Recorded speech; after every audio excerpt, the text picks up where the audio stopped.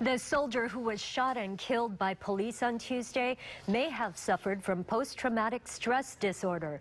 That's according to friends who say his actions may have been triggered by fear and the initial gunshots. Kanoe Gibson reports.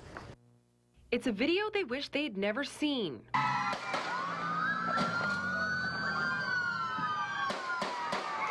The final moments of Stacy Chass and Scott's best friend's life ending in tragedy.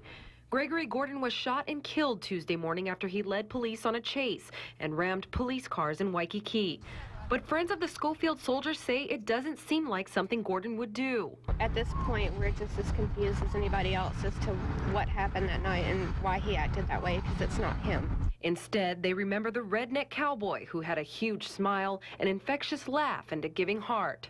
He likes to make sure that other people is having a good time before he has a good time. He could uh, make you open up, and he would open up to anyone. And I hate country music, and he would get me to karaoke country music with him. Myers says he and Gordon both served a tour in Afghanistan and were seeking counseling for anxiety. They say Gordon admitted to having post-traumatic stress disorder and believe that the initial gunshots may have triggered his combative actions. Whenever you hear that first shot, you feel that first bullet whiz past, whatever whatever it may be. You know, um, it's fight or flight, like I said before, from that point on. And he definitely chose to fight and try to get away. They say Gordon would never intend to hurt anyone, including himself. He had plans to move home to Alabama in two weeks to be with his one-year-old son. Kanoe Gibson, KHON 2 News.